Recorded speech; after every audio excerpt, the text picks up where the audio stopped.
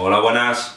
Hoy os vengo a contar cómo enchufar y configurar a PlayStation 4 para Street Fighter V mandos de la generación anterior o incluso el Venom, aunque es compatible con Play 4, enchufarlo en modo Play 3 para tener todas esas funciones que de serie no trae, como es el panel táctil del mando de Play 4 o la posibilidad de grabar con el micrófono nuestros SharePlays. Entonces, bueno, vamos a ello. Bueno, pues lo primero que haremos será encender nuestra PlayStation 4 con nuestro mando normal y corriente.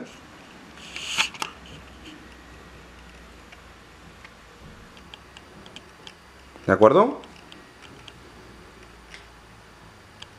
No vamos a usar ningún arcade stick de primeras. Y nada, simplemente nuestro stick de generación anterior, en este caso un MyFlash, compatible con Play 3, lo enchufaremos en alguno de los puertos USB libres que tengamos en la Play 4. Una vez dentro del menú de Street Fighter V, lo que haremos será irnos a opciones y en otros ajustes le diremos autenticación, ojita la traducción, de mando de generación anterior para el jugador 1. Automáticamente nos sale un mensaje, se ha conectado un mando de la generación anterior, ta, ta, ta, ta, que no tendrá las funciones SHARE y tal. Pues nada, de raro, ¿vale? Por desgracia, para autenticar un segundo mando mmm, no nos vale simplemente enchufarlo por USB o mando de generación anterior. ¿De acuerdo? Necesitaríamos otro DualShock 4 con otra sesión en PlayStation para poder autenticar un segundo stick de generación anterior. ¿Vale?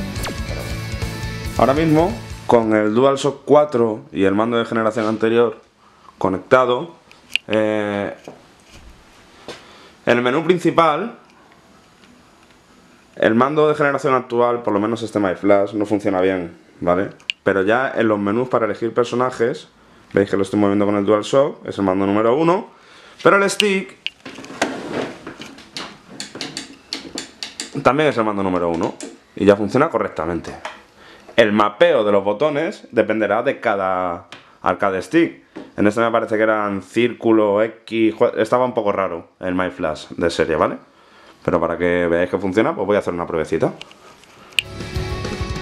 Lo dicho. Vamos a jugar con Ken, se encuentra la X, le da el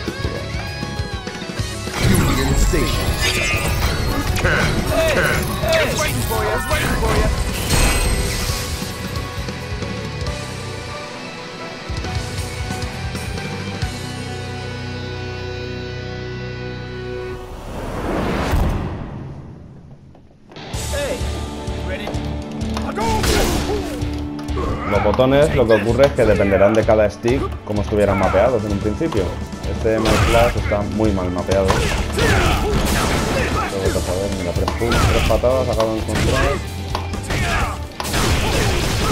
Bueno, y ahora vamos al Venom.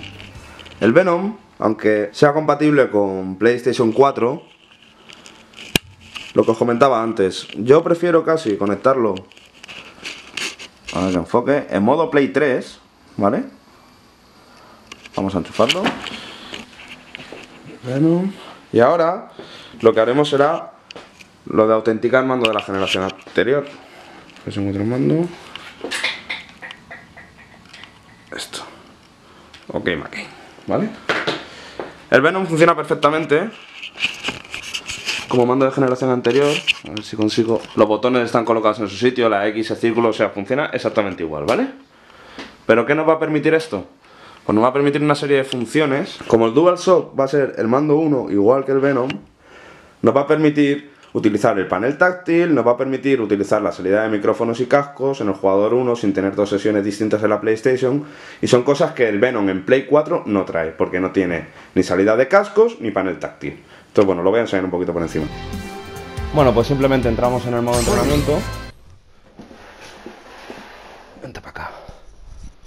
En el modo entrenamiento, como digo, que es donde más función le vamos a dar, por ejemplo, al panel táctil. Bueno, pues una vez aquí en el panel, en el entrenamiento, el stick funciona perfectamente, como podéis ver. Podemos practicar nuestros combos, ¿vale? Con la ventaja de utilizar el panel táctil para reiniciar la posición. El panel táctil, sabéis que en el entrenamiento funciona muy bien, derecha, izquierda, centro, Entonces, bueno, yo me pongo aquí a practicar, por ejemplo, este combo. A ver si me sale. ¿Vale? Y cuando quiero reiniciar, panel táctil. Panel táctil.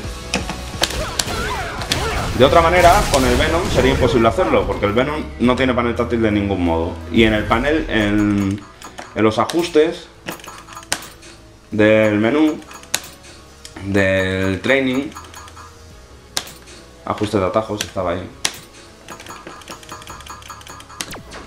Solamente nos deja la posición, posición inicial de combate si no, no podemos no podemos cambiar con qué botón queremos volver a la posición inicial de combate o reiniciar el combate. Botón L3, que como sabéis el Venom no tiene los sticks pulsados. En cambio, si tenemos el DualShock 3, pues sí podemos hacerlo. Además de eso nos permite, como estoy haciendo ya ahora mismo, el hecho de poder grabar la voz sin tener que tener otra sesión o sin tener que tener otro dispositivo aparte. Y básicamente es eso. Era para que vierais. Vamos a aprender a jugar con pad. ¿Dónde están los fuertes? Ah, están aquí.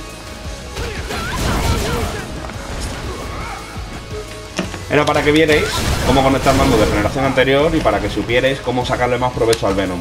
Creo que enchufarlo en modo Play 3 es mucho más aconsejable que enchufarlo en modo Play 4.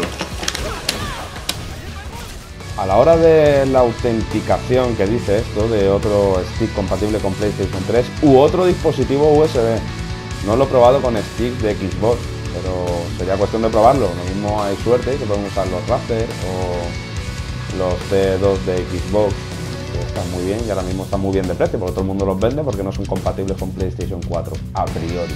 Entonces eso, si alguien lo ha probado, por favor ponérmelo en los comentarios, que sería un puntazo saber si los sticks de Xbox 360 funcionan en la Play 4 porque hay algunos muy buenos y muy muy baraticos de precio ahora mismo.